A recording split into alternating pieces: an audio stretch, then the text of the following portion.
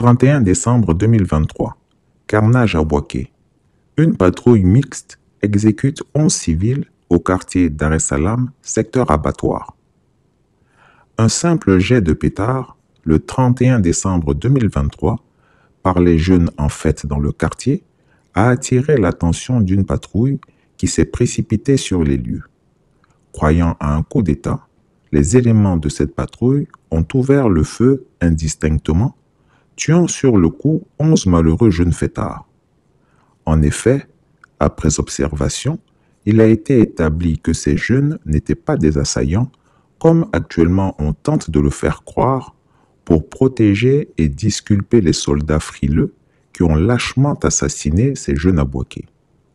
Tene Biraima Ouattara dit la fiole, qui, dès les premiers rapports, avait félicité les soldats en question pour, selon lui, avoir déjoué un putsch, a dû faire face à l'évidence et mollement a autorisé l'ouverture d'une enquête suite à la pression. Mais cette enquête a pour objet manifestement de couvrir le crime commis.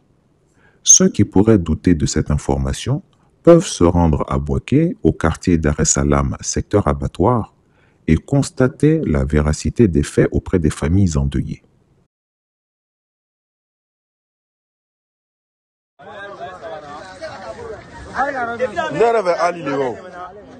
Chris Yapi ne ment pas.